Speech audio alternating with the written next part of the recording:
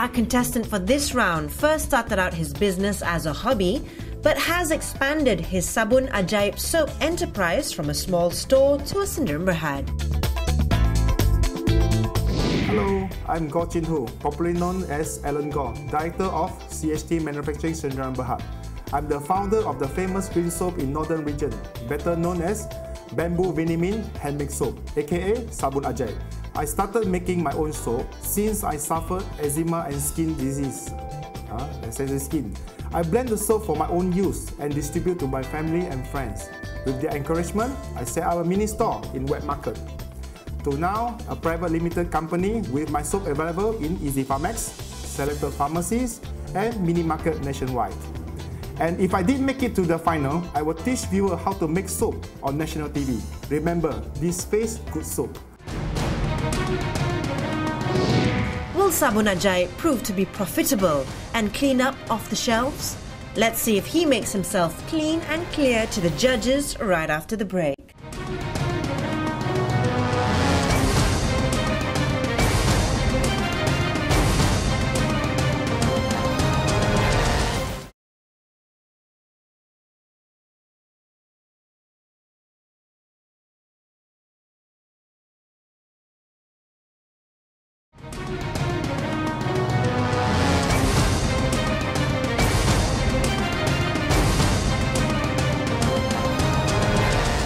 Initially fulfilling his own needs and solution for sensitive skin, Goh Chin Hu from Penang hopes to clarify any business related queries with a fresh and clean outlook.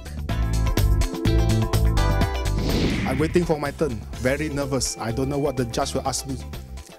Hopefully, all the best. Yeah, I prepared for two weeks already.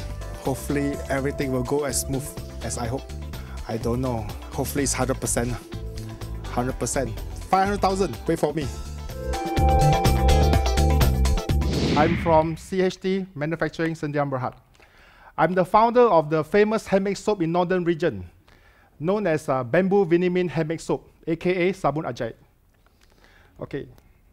The, I'm, the purpose I'm here is to promote my soap to you. So I can get investors to invest in my company to make it expand or to whole Malaysia and hopefully globally. Okay. okay, from uh, this soap uh, is suitable for face, hair, and body. The purpose I'm here is to uh, to promote my soap. So we see how uh, I can expand my uh, business further. Instead of uh, being taiko in uh, northern region, I want to go global. Okay. Uh, the, uh, my next step uh, is to put inside my soap to hypermarket. Why do you put your face on the packaging? Uh? Okay. Last, uh, when I first make this soap, and nobody follows. But after a while, uh, there come out a competitor. Uh, they said uh, the green soap is same as the, the fatty guy one. So people, uh, they'll say, oh, it's the same one, the cheaper one. So my last resort is to put my face on the soap. Okay. How much are you selling the soap for? The currently the 100 gram one I'm selling 1690 in pharmacies. Okay, uh, nationwide lah. In pharmacies nationwide. And then I have 10 ringgit one for mini market. That is 60 gram how did you how did you get into making this soap? I mean, uh, a, a why this uh, particular formulation? Did you do some R and D, or is it some traditional uh, recipe? It, it, all started as my my hobby. If I'm in uh, mechanical engineering, it's not related into soap making. Okay, because I have, I myself have uh, sensitive skin, sensitive skin, uh, so eczema. So a lot of uh, over the counter, the product I cannot use. So I, I started as a hobby also lah. I, said I just uh, blend some soap, then I try try to use it. I buy a lot of books to read. I go to internet to check. Then after I blend it, I try it. Then it's, it's, it's good. My same, same skin is no more. It's cured. So I just make some soap to give my friends, and they, uh, they recommend me to okay, you can set up one store in the minima, uh, in the wet market. So I start from there lah. How many pieces do you sell a year now? Uh, normally I track by monthly lah is around uh, four five thousand pieces the, the uh, month, per month. Per month. So the formula for this soap is actually um, my own. Your own. Yeah. Through own. trial and error. Uh, yeah. Uh, I'm also lucky lah. One time already hit the jackpot. How do you know that there are no side effects to using this soap?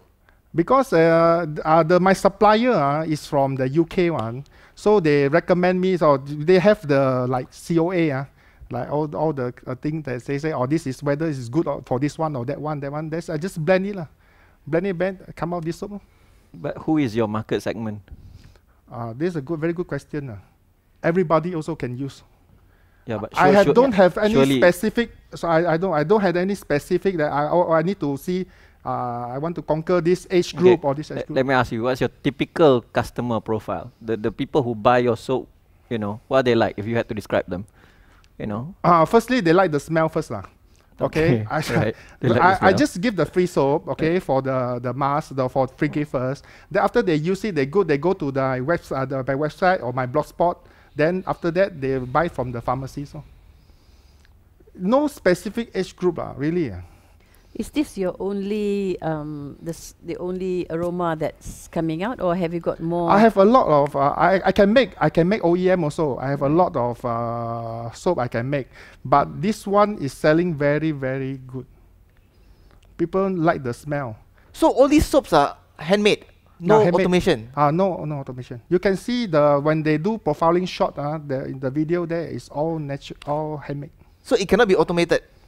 Cannot temporary. Uh, cannot. so you can't do the volume.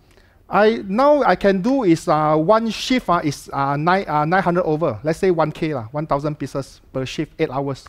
All right. Thank you. Okay, thank you.